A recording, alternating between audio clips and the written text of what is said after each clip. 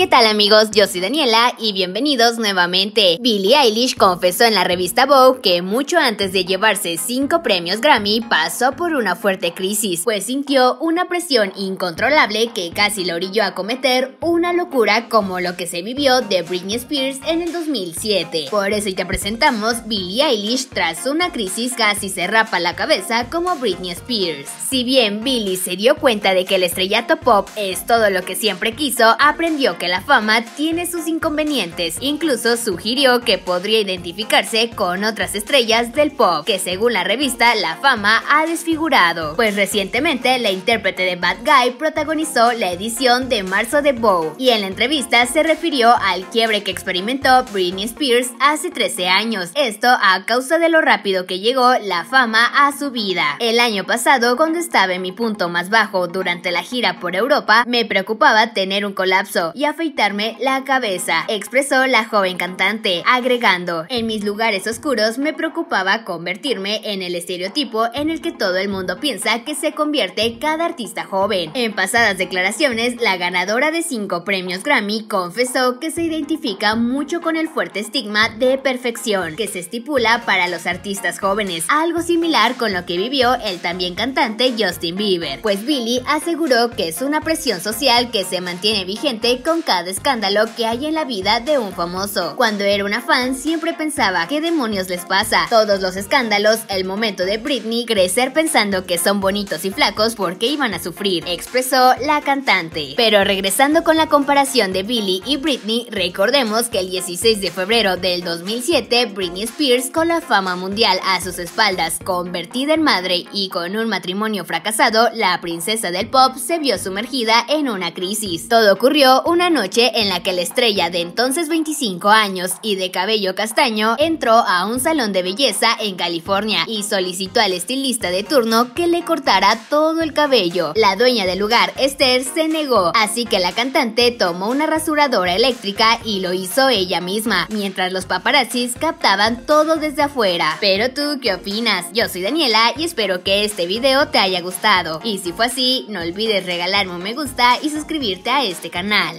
Eso me ayudaría muchísimo. Nos vemos en el próximo video.